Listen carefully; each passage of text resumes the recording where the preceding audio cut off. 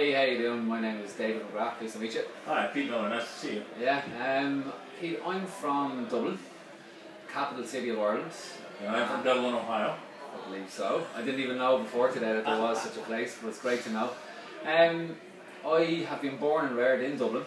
I don't know if you know much about Dublin, but it's split into two sides, like a north side and a south side. Okay. Uh, the north side would, or the south side would, would be more affluent, middle to upper class, Okay. es- essentially.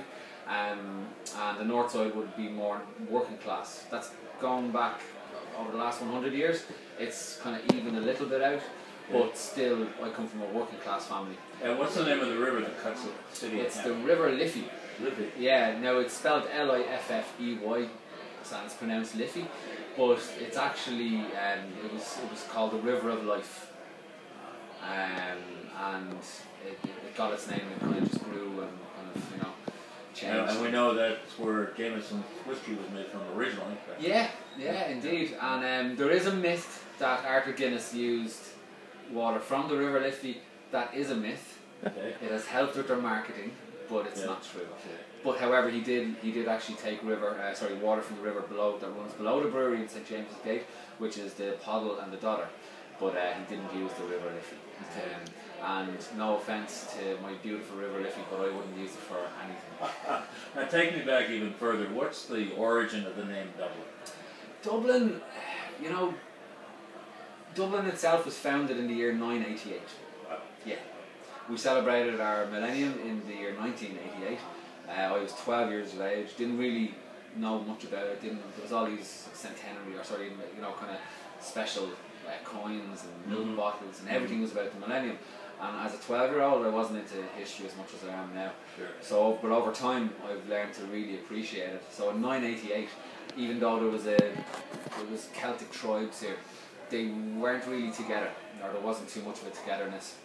Um, even though they'd say that the tribes of the four provinces, are actually five provinces as it was back then, and they'd say, but there were a lot of inner fighting and stuff like that. So when the Vikings came in nine, nine, the year 988, they founded um, Dublinia, which they named it Dublinia, but they took Dublinia from um, the old Irish words, which are Dublin.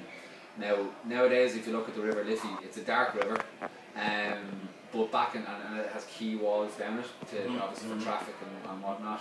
Um, but back then, there would have been only banks of a river, as you see, you know, in most rivers, uh, wild rivers throughout the world. And um, just as it came down to about half a mile or about a kilometre up the road, it, it formed into a black pool.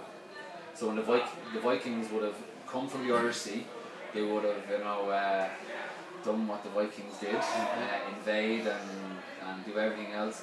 And they, they settled upon this black pool of water and they named it on Dublin. So Dubh is the Irish word for black and Linn is the Irish word for pool. So it was called on Dublin or the Black Pool. And then over the course of time, with British influence or invasion or occupation, whatever way you want to put it, um, it was anglicised into the name Dublin. Now, fast forward from 900 to the 21st century, and here we are, uh, about a mile from where you were talking about, Yes. in the center city of Old Dublin, Yes. pretty much. Yeah. But we're sitting in a craft brewery, Yes. a microbrewery. Dublin, How- Dublin's only microbrew pub. Now, how did that happen? Um, I suppose, uh, if truth be told, there's a few different areas to that. Uh, one of them would be um, somebody with a bit of courage or a bit of you know Mhm. balls to kind of take a chance on it, um, because in this started in 1998. Um, by a very affluent man, a very rich man, um, but he recognised a gap in the market, as most you know rich men do or Mhm. entrepreneurs do, and the gap was that um, Guinness, the Guinness brewery, they brewed Guinness and Smithwick's, and they also had the license for Carlsberg and Budweiser in Ireland.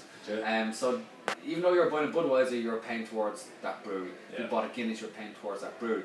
And I think that entrepreneur spotted that. Hang on a second, you know, there's a gap here. Mhm. Let's do something different. And another bar just up the road from here, closer to that uh, site where the Vikings landed, called the Porterhouse, and they they opened. And then we opened within a month of that. Now, Mhm. in 1998, the place was called Messrs. Maguire and there's a bit of history behind that. But in a nutshell, um, what was happening was more and more Irish were venturing outside of Ireland, and they were going say to Germany. They were tasting really really good beers, which wasn't Carlsberg, which wasn't Smithwick's, which wasn't Guinness, and also didn't give them hangovers, like Guinness gives you, like Smithwick's gives you, like the rest gives you. And um, they said, um, okay, those people are coming back and they're asking for specific styles of beers and brands of beers. So um, that entrepreneur took a chance. He bought, uh, th- th- this was two buildings, and he knocked it into one, and he put a microbrewery on site. And from 1998, they started to brew beer here and sell that beer that they brewed on site. Um, and from that, you know, the, the microbrewery was born. And that's what we see behind you here. Absolutely. Well, what you're looking at here is the conditioning tanks. Okay. So where you guys are sitting upstairs en- enjoying your cheese board, uh, the, the, the mash tun and the copper kettle is up there. So the beginning stages of the brewing begins there, but then it's pumped down here to our fermentation tanks, and then once it's fermented into beer, we'll condition it in our conditioning tanks.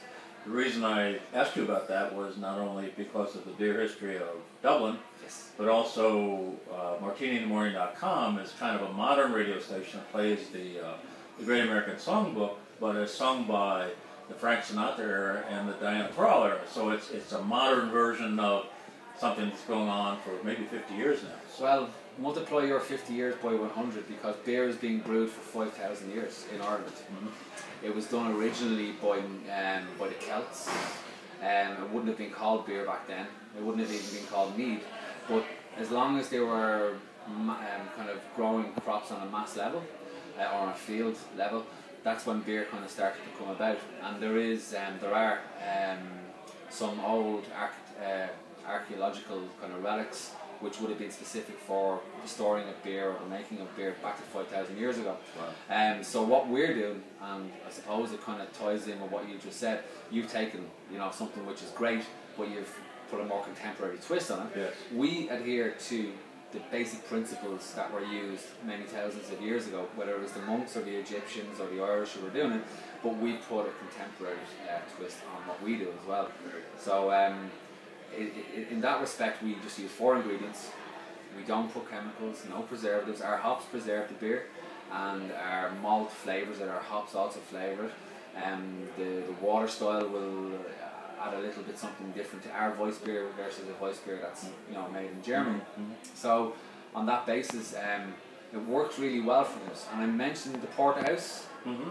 They stopped brewing on site. They became so successful that they didn't have the capacity in their small brewery up the road. Yeah. So what, what they've done is they continue to make their own beer, but they've centralised it off site, and that put us down to being back to being Dublin's only Wow, microbrew pub. wow. And sorry, go ahead. Now, uh, another reason why I particularly wanted to get you in front of the camera is you are a radio disc jockey.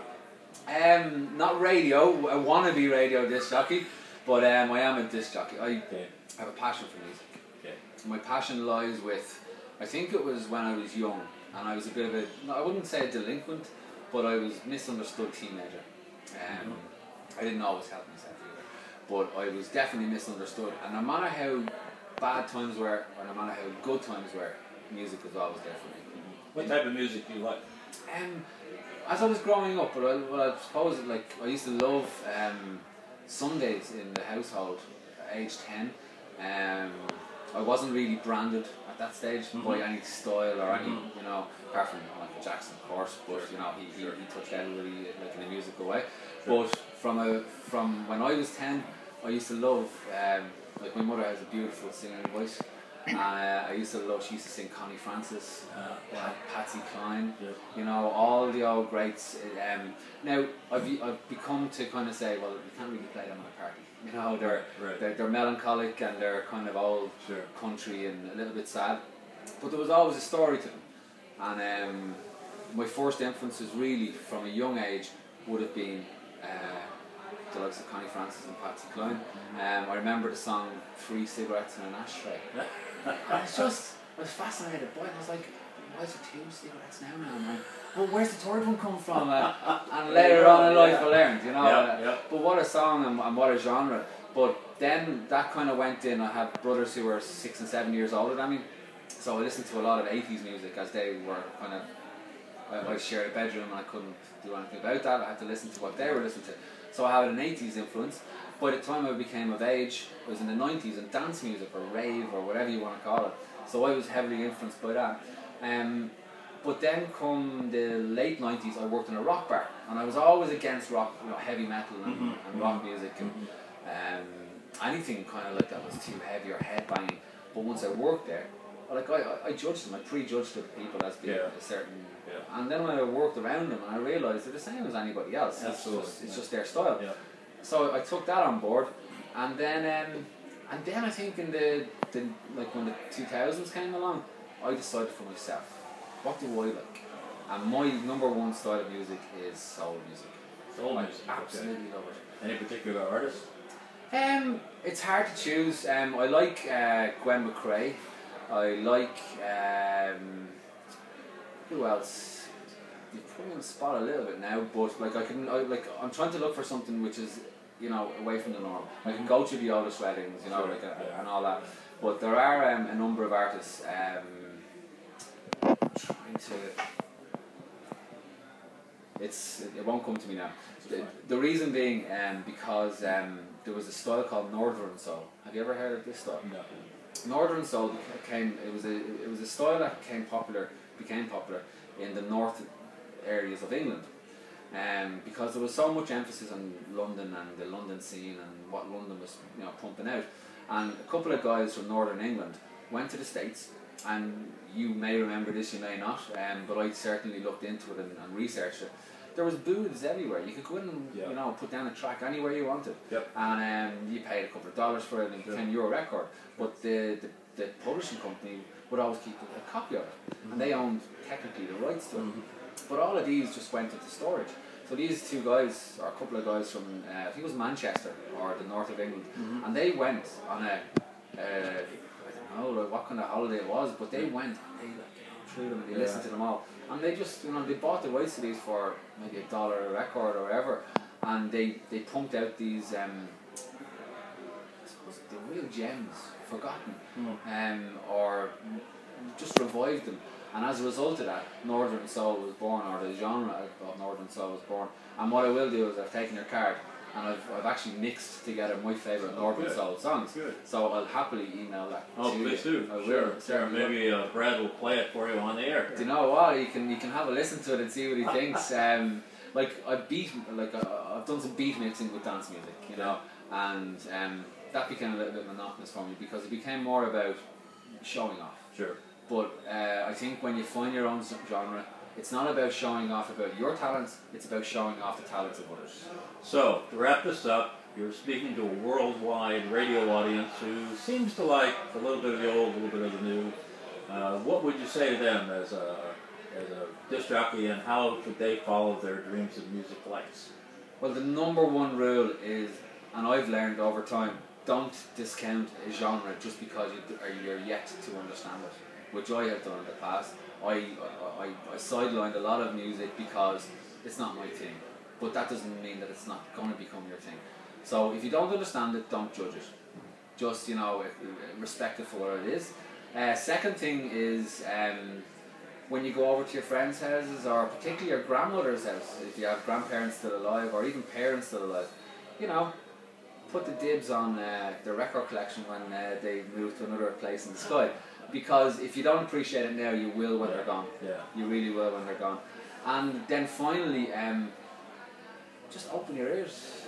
Just open your ears to not just the voice, not just the lyrics, but the saxophone in the background or the, the exquisite drums or, you know, go to a place, go to a happy place and associate it with positivity because I'm, I'm sure no matter whether it's death metal or crooning uh, classics, those people were passionate about making that in the first place. So um, if you can tune into that passion, you're gonna you're just gonna be a better person positively in, in, in every way. Excellent. Thank you very much. You're very very welcome. Very nice to meet you. Pleasure.